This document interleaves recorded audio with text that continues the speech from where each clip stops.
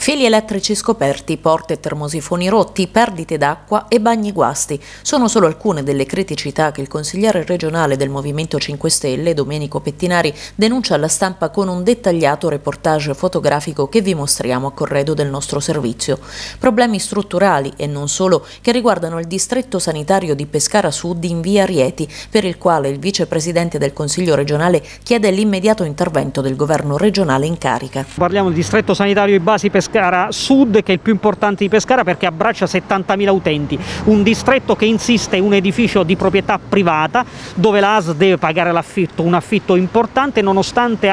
c'è un distretto di proprietà pubblica realizzato in via Rio Sparto lasciato così ancora in abbandono non attivato, quindi quello che io chiedo è il trasferimento immediato da via Rieti a via Rio Sparto dove possiamo risparmiare l'affitto e non solo portare le strutture in eh, un edificio adeguato, qui l'edificio è fatiscente incandescente, abbiamo fatto l'ennesima visita ispettiva questa mattina, abbiamo visto fili volanti dappertutto, muri scrostati, termosifoni scrostati, infiltrazioni d'acqua,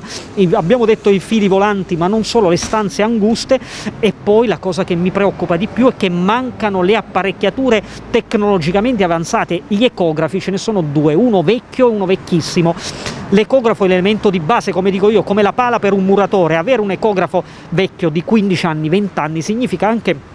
fare diagnosi non proprio così come averne uno nuovo di zecca. Non solo, l'endocrinologia, la diabetologia è stata trasferita inspiegabilmente dall'ospedale di Pescara al distretto di, eh, qui di Via Rieti, appunto, messo al quarto piano. Qui c'è un problema serio perché ci sono tanti anziani, tanti disabili che vengono qui, non trovano il parcheggio, devono parcheggiare all'area di risulta, venire a piedi in inverno, salire al quarto piano con un piccolo ascensore, quindi potete capire anche i problemi. Manca la digitalizzazione territoriale, significa che l'ospedale specialista non riesce a interrogare il fascicolo sanitario elettronico del paziente quando viene dimesso dall'ospedale, quindi anche lì si compromette una diagnosi e una cura. Via Pesaro, medicina dello sport di Via Pesaro, gli operatori sono completamente al freddo, senza riscaldamento. Allora ecco, tutto questo cosa comporta poi? Che inevitabilmente i cittadini si riversano sull'ospedale di Pescara mandando al collasso reparti e pronto soccorso. Io chiedo con forza al centrodestra, questo è il più grande fallimento del governo regionale a guida centrodestra, destra di potenziare la medicina territoriale e potenziare gli ospedali minori, perché facendo funzionare